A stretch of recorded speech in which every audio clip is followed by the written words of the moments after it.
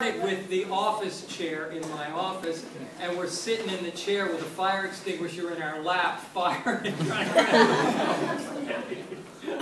and it turns out that the little ones don't push hard enough.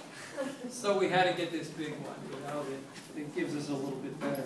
I think this one's still charged, we actually have another one, but I thought we'd, we'd make sure that that, um, they're good for, the, the big ones are good for about a minute. Okay? Let's see, we bring these boxes in here because when this thing fires, this is the whole damn problem. People see rockets go up and only one thing happens. And so, you know, nobody's going to think the third law exists, right? And so what we need to do is see where the opposite force is.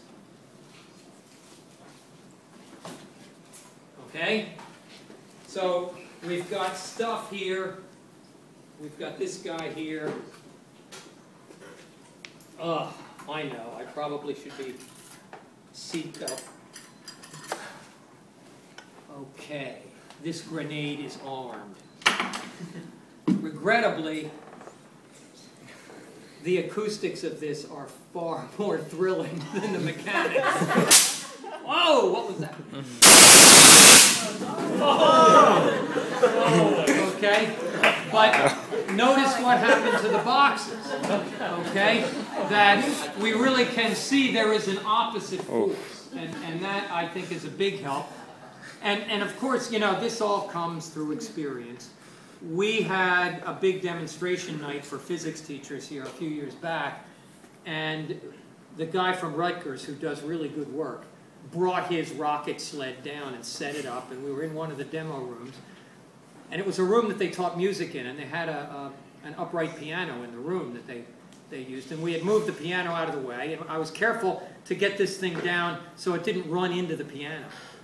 And he fires this thing and goes off, and it blows all the panels off the piano. I mean, like, you know, you think of a piano as pretty, pretty integral, and but the panels have to come off so they can tune it. Well, I didn't know that. You know, I'm not a musician.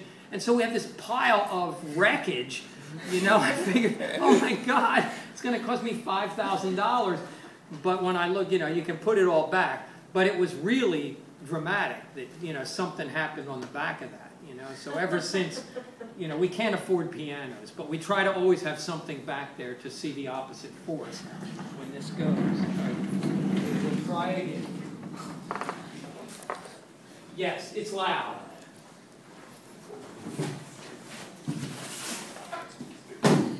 Get our victims in place. And see, this is, they really don't want fire extinguishers to be launching people, you know, there's already problems in the room, okay? And the fact that the uh, first responder is getting hurled into the wall would probably not be good, you know? So.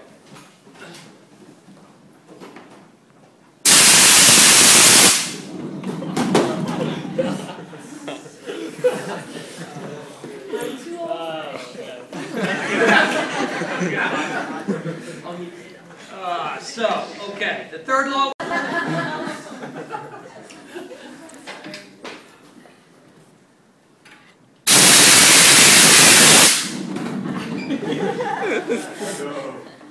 I might be begging one of you to put a video on Dropbox. Okay. Okay.